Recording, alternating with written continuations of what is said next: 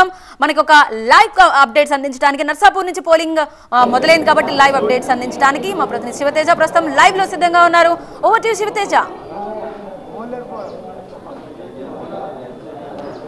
So ఉమ్మడి మెదక్ జిల్లా వ్యాప్తంగా కూడా పోలింగ్ ప్రారంభమైంది. ఉదయం ఆరున్నర ప్రాంతం నుంచే ఓటర్లంతా కూడా పెద్ద ఎత్తున పోలింగ్ బూత్లకు ఉదయం ఐదు ముప్పై నిమిషాలకు మాక్ పోలింగ్ నిర్వహించారు. ఏదైతే ఆయా పార్టీలకు సంబంధించిన ఏజెంట్లందరినీ పిలిచి మాక్ పోలింగ్ నిర్వహించారు. అనంతరం ఆరున్నర ప్రాంతం నుంచే ఓటర్లంతా బారుతున్న పరిస్థితి. ప్రస్తుతం మనం విజువల్స్లో చూస్తున్నాం పెద్ద ఎత్తున అందరూ కూడా ఓటాకు వినియోగించుకోవడానికి ఉదయం పుట్టినే రావడం జరిగింది. మొదటిసారి ఓటాకు వినియోగించుకున్నటువంటి వాళ్ళు కూడా ఉన్నారు. అమ్మ చెప్పండి మొదటిసారి ఓటాకు వినియోగించుకుని ఎట్లా అనిపిస్తుంది?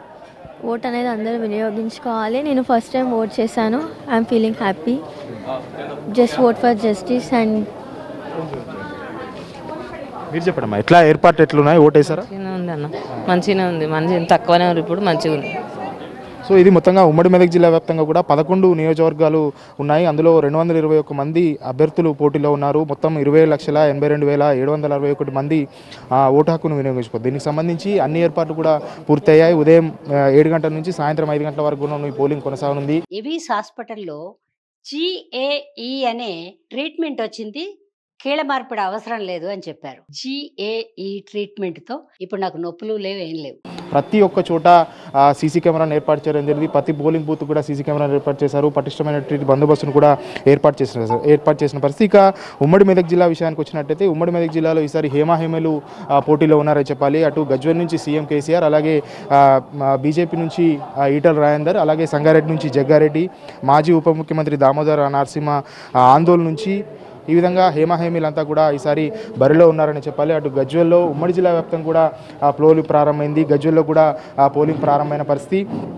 ఓవరాల్గా ఎలాంటి ఇబ్బందులు లేకుండా అధికారులు అయితే అన్ని ఏర్పాట్లు అయితే పూర్తి చేశారని చెప్పాలి. ఎవరైతే వికలాంగులు ఉంటారో వారి కోసం ప్రత్యేకంగా వీల్ చైర్స్ని కూడా ఏర్పాటు చేయడం జరిగింది. ఇక ఏదైతే ఓటు పర్సంటేజ్ పెంచడానికి ఇప్పటికే అధికారులు కూడా అన్ని చర్యలు తీసుకున్నారని చెప్పాలి. ఎందుకంటే ఎవరైతే ఆ గ్రామాన్ని విడిచి వలసలకు వెళ్ళారో వాళ్ళందరినీ కూడా రప్పించే ప్రయత్నం కూడా చేశారు. ఖచ్చితంగా పోలింగ్ శాతం పెరగాలంటే కూడా అధికారులంతా కూడా చేసిన పరిస్థితి రైట్ ఇంతకుముందు మెదక్ గురించి మాట్లాడుతూ కూడా మీరు ఒకసారి గజ్వేల్ గురించి కూడా మాట్లాడారు. అంటే చాలా కీలకమైన ఇప్పుడు నియోజకవర్గానికి సంబంధించిన అప్డేట్. ఒక పక్క బీఆర్ఎస్ నుంచి కల్వకుంట్ల చంద్రశేఖరరావు ఇక కాంగ్రెస్ నుంచి నర్సారెడ్డి ఇక ఈటెల రాజేందర్ పోటీలో ఉన్న ఈ ప్రాంతం అంటే ఇప్పుడు ఒక్కసారిగా అందరి ఫోకస్ ఇక్కడ కామారెడ్డి అండ్ ఒకవేళ గజ్వేల్ ఈ రెండు తీసుకున్నా కూడా చాలా కీలకమైన అప్డేట్స్గా మనకు తెలుస్తోంది.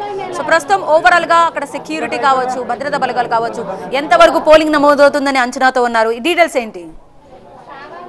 我们你 ఖచ్చితంగా గజ్వేల్ సార్ అన్ని పార్టీలు కూడా సీరియస్గా తీసుకున్నాయని చెప్పాలి. ఎందుకంటే అక్కడ సీఎం కేసీఆర్ ఇప్పటికే రెండుసార్లు ఎమ్మెల్యే గెలవడం జరిగింది. ఈసారి తొలిసారి ఆ కేసీఆర్ పైన బీజేపీ అభ్యర్థి ఈటర్ రాజేందర్ బరిలో నిలిచారు. ఇక కాంగ్రెస్ నుంచి కూడా మొదటిసారి గజ్వేల్ నుంచి ఎమ్మెల్యేగా పోటీ చేసినటువంటి గెలిచినటువంటి నర్సారెడ్డి కూడా పోటీలో ఉన్నారు. ఆయా ఆ గజ్వేల్ కాన్స్టిట్యున్సీ పైన సీరియస్గా అన్ని పార్టీలు కూడా దృష్టి పెట్టాయని చెప్పాలి. పోలింగ్ శాతం పెంచడానికి అధికారులు కూడా తీవ్ర స్థాయిలో ప్రయత్నాలు అయితే చేస్తున్నారు. ఇప్పటికే ఆ ప్రాంతంలో కూడా పో- పోలింగ్ పర్సంటేజ్ ఉంది. అయితే ముఖ్యంగా గజ్వేల్లో ఏదైతే పార్టీ గెలుస్తుందో ఆ పార్టీ రాష్ట్ర వ్యాప్తంగా కూడా ప్రభుత్వాన్ని ఏర్పాటు చేస్తుందనే ఒక సెంటిమెంట్ కూడా ఉన్న నేపథ్యంలో గజ్వేల్ని సీరియస్గా తీసుకున్నారు దానిపైనే అందరూ కూడా కస- కసరత్తు చేస్తున్న పరిస్థితి. అక్కడ ఓటింగ్ శాతం పెరిగితేనే అక్కడ ఉన్నటువంటి అభ్యర్థులకు కూడా ఓట్ల ఓట్లకు కావచ్చు లేదంటే మెజార్టీ కావచ్చు పెరిగే అవకాశం ఉన్న నేపథ్యంలో దానిపైన సీరియస్గా దృష్టి పెట్టిన పరిస్థితి.